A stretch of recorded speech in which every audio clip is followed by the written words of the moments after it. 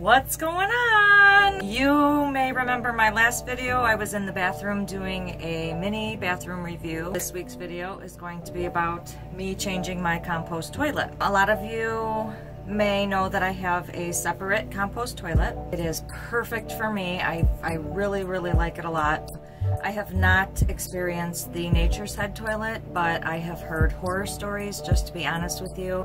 And right now I don't have it within my means to compost my waste. So I don't have land and I don't have a compost bucket or anything like that. I live in a campground and pretty much I have to dispose of it a certain way.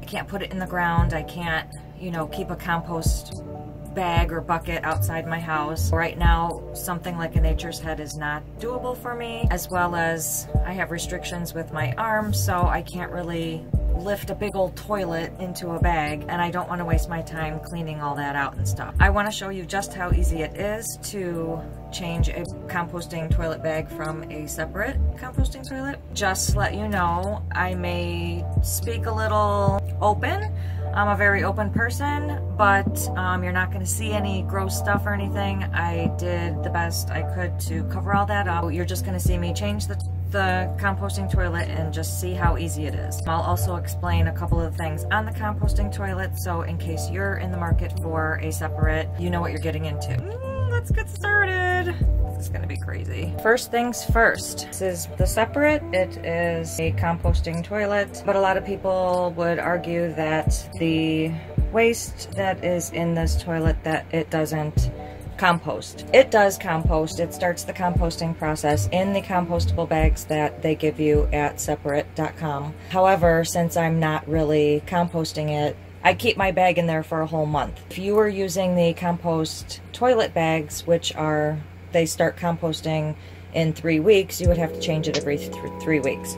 And they cost more. So I decided to just do regular bags. I was doing white garbage bags, but for the purpose of this video, I'm going to do a black garbage bag so that when I lift it out, you cannot see any of the waste on the outside of the bag. For those of you who are earth friendly, you may see a few wasted paper towels in this video, but that is for um, the purpose of the squeamish. I don't want to gross anybody out, but I do want people to know about this toilet. They send you a bunch of this stuff and then you can actually put it upwards if you want. My builder just decided to do it right there, which is fine, I guess. I've noticed that this does not have a switch to turn on the fan because the fan, which is the top one, is always on. I'll show you that when I open the toilet. The older version has a switch right here that you can turn on high or low to have that fan run, but I like to have my fan running all the time, so there was no button that came with it. It's just plugged in. Lifting up this first lid, you're going to see that there is a waste thing in the back, and this is where the urine goes. I myself use a funnel to pee in because sometimes the urine goes in the back and it is not recommended to have any liquids back there. So I decided to get a funnel. Uh, before I was using the funnel, I was using paper plates to divert my urine into that little hole. No man has ever used this composting toilet yet, but I imagine that I'm going to have to tell them they're going to have to sit down because I've read other reviews of composting toilets where they say basically the man just should sit down. The urine will go down there. Because if a man stands up here and and aims here, anywhere right here, it's going to splash all in here and you don't want uh, liquid, moisture, wetness back there. When you sit down, this opens. Like I said, everything is blocked and you can't see anything. It opens when you sit on it and it's actually, there's a button that you push down um, so that when you sit on it, that's how it opens. Then your waste goes back there and you go in a bucket, basically. Your waste, paper tissue, or whatever can go back there, but I usually put my urine tissue in the basket that I keep here. But I moved it right now for the video purposes. I'm gonna lift up that and here's one thing that you wanna do. You're gonna want to take some tissue now, urine, like I was saying, goes down there. So when you go to clean this, as you lift this, as you can see right there, that um, goes down another hole right there.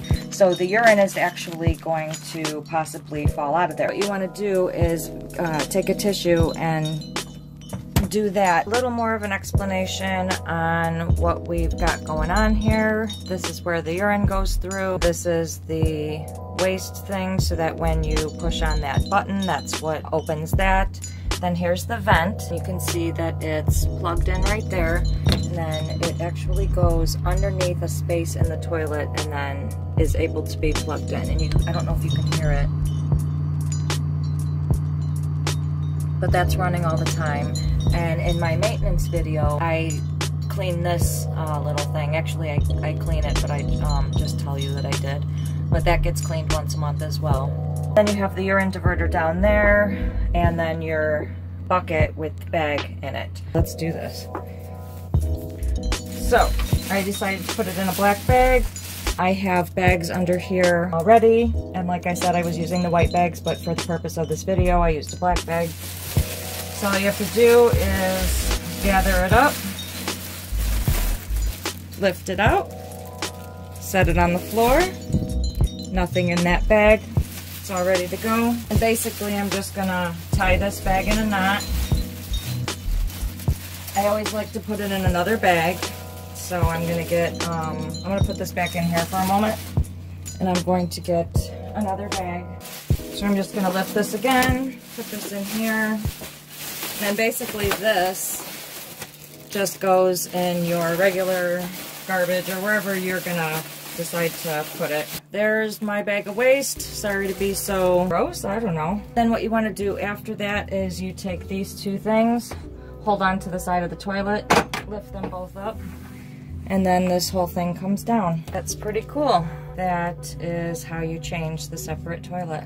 How fun was that? Basically, this is a very short video to show you just how easy it is to change a Separett composting toilet. I would recommend it any day of the week. It's super easy, super simple, and if you're not ready to do the whole composting of your waste in like dirt or under the ground or in a composting bucket somewhere, then I would say the Separett composting toilet is the way to go. Like I said again, I did it, I do it once a month so that it's, it's easier for me to keep track if I do it once a month. So everything, all my maintenance is done on the first of the month, everything's changed on the first of the month. It's just much easier for me to remember to do it on the first of the month. I hope you guys enjoyed this video and if you like my channel and my videos, please subscribe below and I will see y'all in the next video.